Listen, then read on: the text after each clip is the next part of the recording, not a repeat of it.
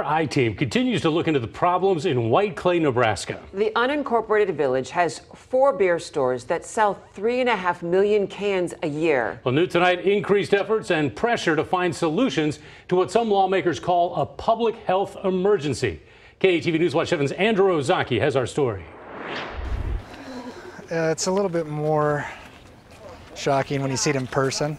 State Senators uh, Brett Lindstrom, Roy Baker, and Tanya Cook joined Patty Pansing Brooks walking through the streets of Whiteclay, Nebraska. Three and a half million cans of beer are sold here a year, most to residents from the nearby Pine Ridge Reservation where alcohol is banned. Depression is the main reason why we drink.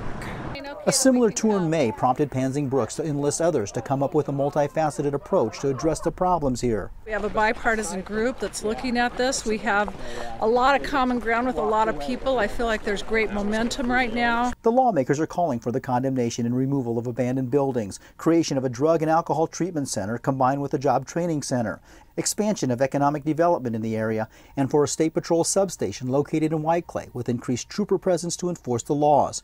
On Tuesday morning, just a day before the senators came to Whiteclay, two people were cut with a knife during a fight. A 23-year-old female is under arrest in that case, but so far no one in custody in the death of 50-year-old Sherry Woundedfoot.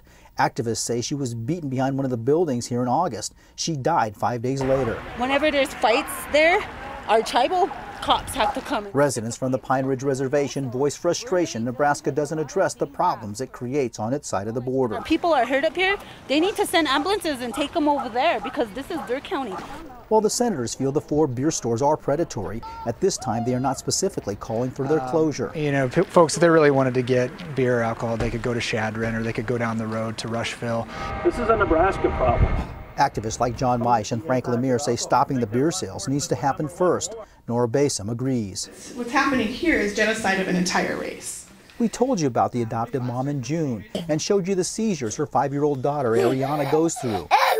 She, as does one out of every four kids born on the Pine Ridge Reservation, suffer from alcohol fetal syndrome. I still dream that the stores will be shut down, um, that that'll be step one of the process.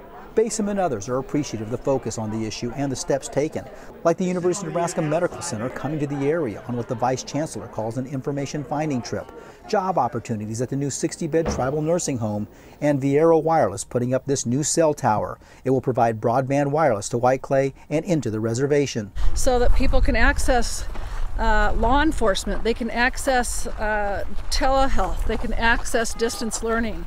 Pansing Brooks says she understands the frustration from those who want to see beer sales stopped immediately, but believes it's more than just one issue that everyone needs to work on. And do whatever we can from whatever skill set we bring to the table and, and work to heal Whiteclay. In Whiteclay, Andrew Ozaki, KETV, Newswatch 7.